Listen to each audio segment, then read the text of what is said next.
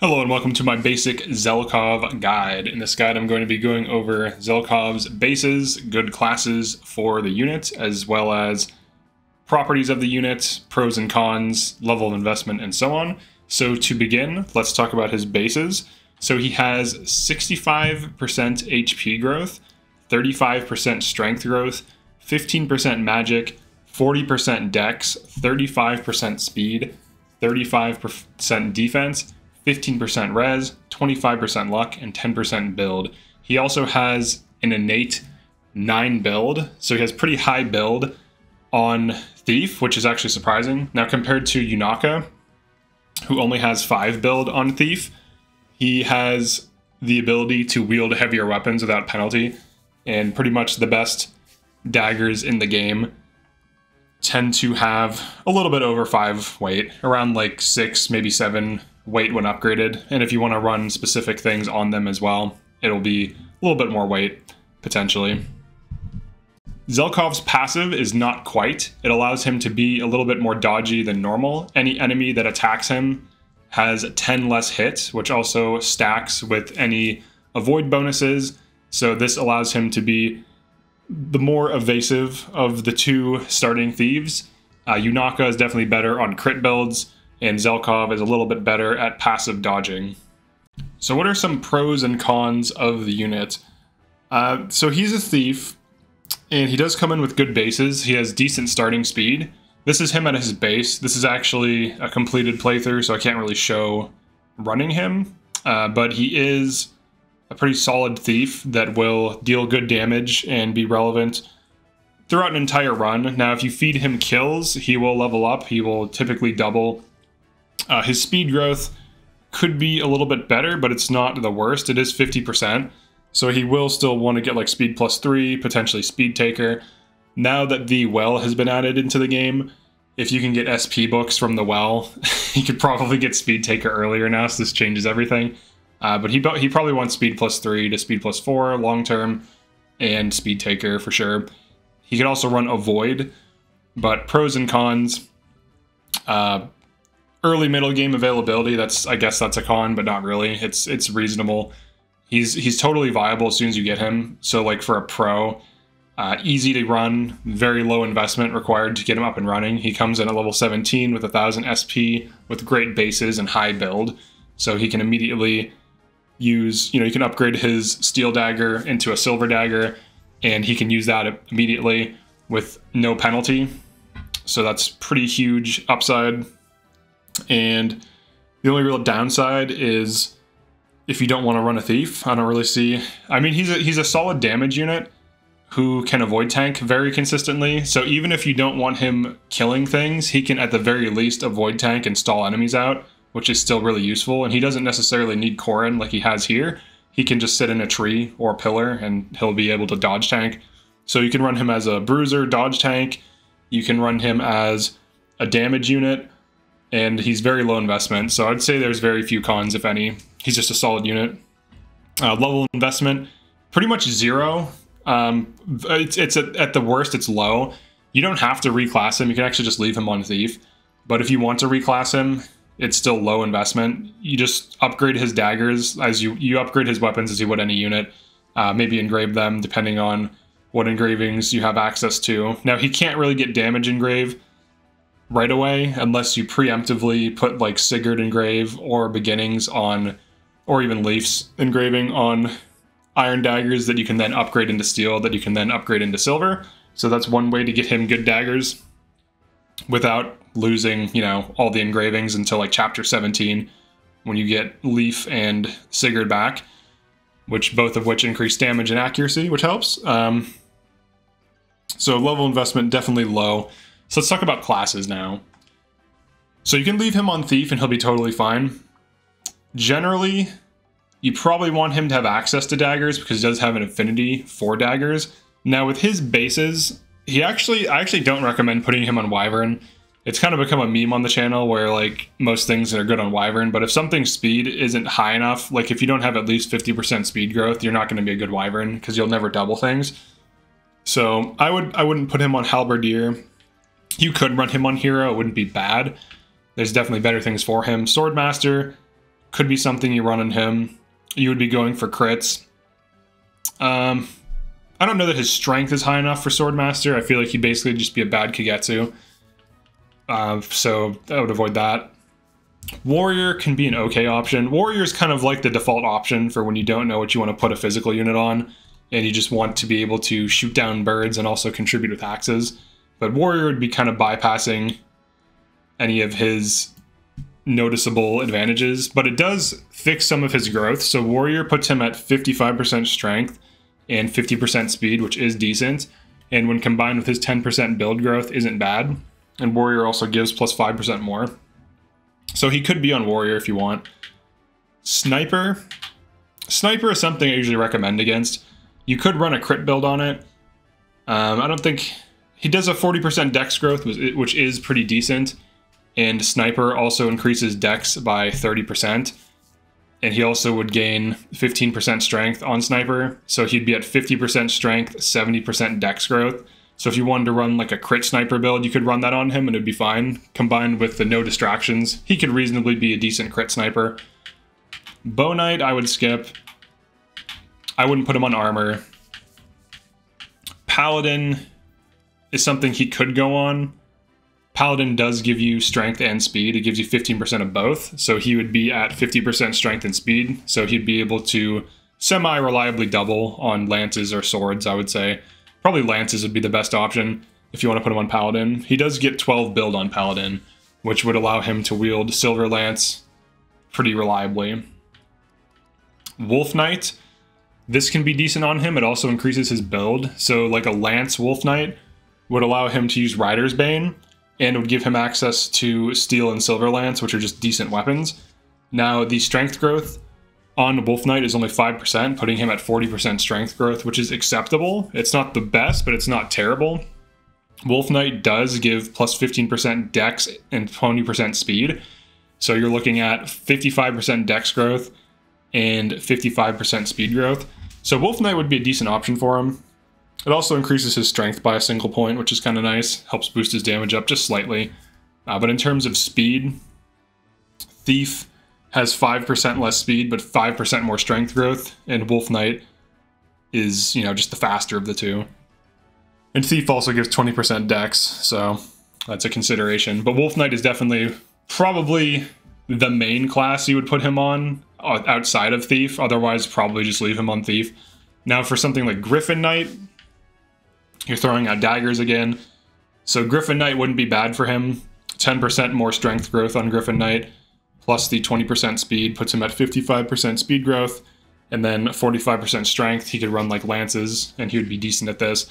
The base 10 build would increase as he levels up every 10 times on fixed mode.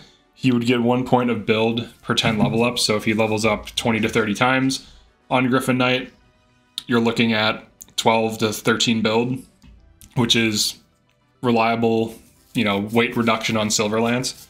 So he could be a decent Griffin Knight. It also gives him staff utility, six move, and better bases. Uh, so I'd say Griffin Knight and Wolf Knight are the main things aside from Thief. Uh, potentially crit builds, uh, like Sniper, actually. I'm not, it's debatable as to how good Sniper is. Magic classes, I would skip. He only has 15% magic growth. There's really no advantage to running these. And then for things like Martial Master and, you know, High Priest, I would skip those as well. I don't see the advantage. He doesn't he doesn't have high enough magic to justify running this. Uh, another thing to note about him, even though he is a dodge tank, he can be quite weak. So like right now to uh, magic, he has very low res, surprisingly. He almost has as low of res as like a tank. Now, as he levels up, he only has 20% res growth. So he actually has a res problem. Now, if you put Corrin on him, as you increase the bond rank, it does increase res a little bit, which helps, and it also increases health. It increases magic, but doesn't which doesn't help him at all. But the res and the health makes him more tanky. The other thing with enemy mages is mystical ignores terrain bonuses for void, so he tends to have magic problems. Now, if you want to fix these magic problems, you can use talismans on him or just keep him away from mages like you would a tank. Luckily, though, he won't get doubled He's usually fast enough to not get doubled by enemy mages, so you can avoid him getting one rounded by most mages. And as long as you get his res up a little bit, it'll kind of help. But you can see that, you know, 20% res growth on Thief and a starting res of 5 will not scale well into endgame. So as long as he's kept away from thieves, or I'm sorry, mages, he'll be fine. Okay, so good early passives. So I would say avoid passives are good. Um, so let's go to the thing. There may be, I might accidentally show spoilers. this is a this is a completed run. We'll try to avoid it. It's just a character you unlock. I feel I feel like by this point people should know it, but there's still some people who haven't unlocked it. All right, so ignore. So skip ahead like five seconds just in case. Here we go. All right, I think I was fast enough. I think I was fast enough. All right, early game passives.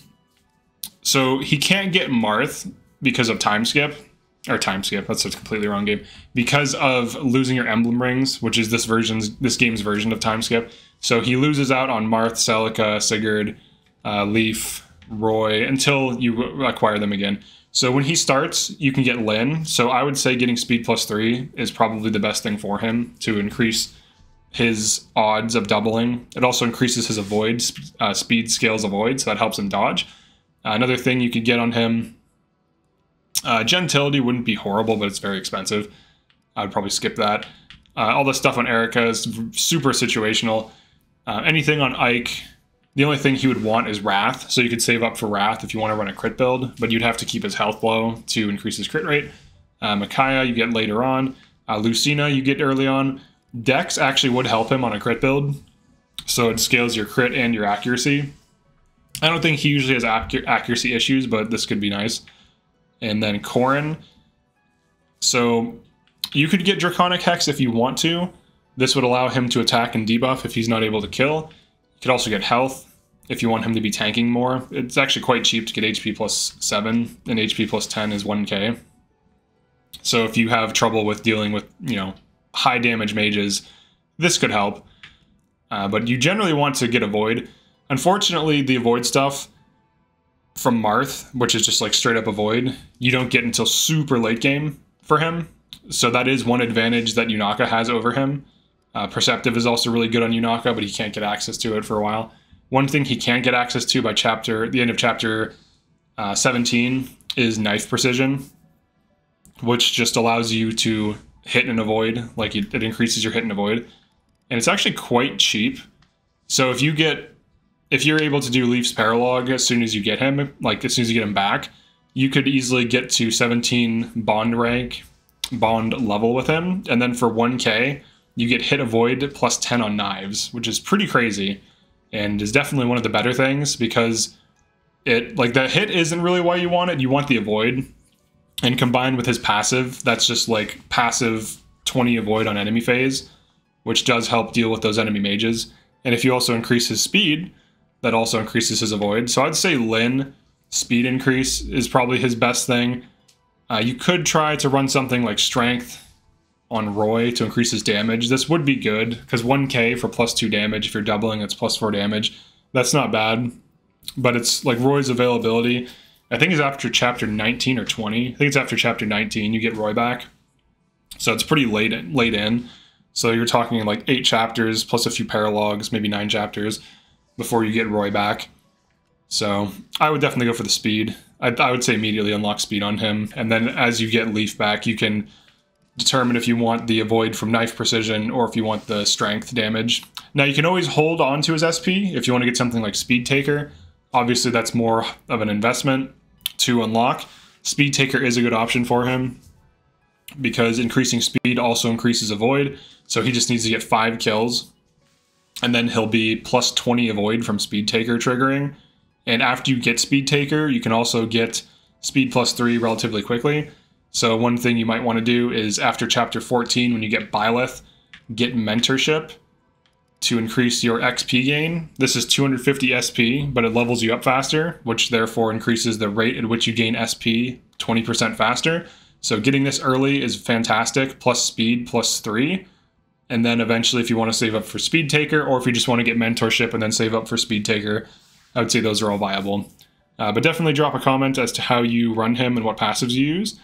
Um, I think that's it for this one, aside from emblem rings. Uh, emblem rings, really, it's just Corrin. We'll just wrap up with this. Really, he just wants to run Corrin for the extra health, for the res, but mostly for the smoke because he is a covert. So if he's running, oh yeah, also if he's running Corrin, he has Draconic Hex. So when he attacks, he debuffs, which is very nice. Uh, and when he pops Corrin and he attacks, it can AoE debuff. It can AoE freeze things, which also helps with his kit. But create a void fog or create fog that increases the void. So this is his main thing. And if you can set it up so you have a bunch of coverts in this and you body block enemies so they can't enter the fog, you can have the benefits of the fog and they can't take advantage of it. So there's there's very simple positioning tactics you can use uh, in combination with your units or just with you know map terrain. So for example, if he's on like a one tile bridge and he uses this, enemies can't really get in too well. Uh, but yeah, it's definitely pretty powerful. Everyone knows it, I think. The quality time, that's not really like that's something nice. The pair up also helps. Getting pair up, you need to do her paralog, Corrin's paralog to get it. But that's it for this one. Definitely like and subscribe. Drop a comment, let me know what you think about Zelkov, how you run him, and I'll see you next time.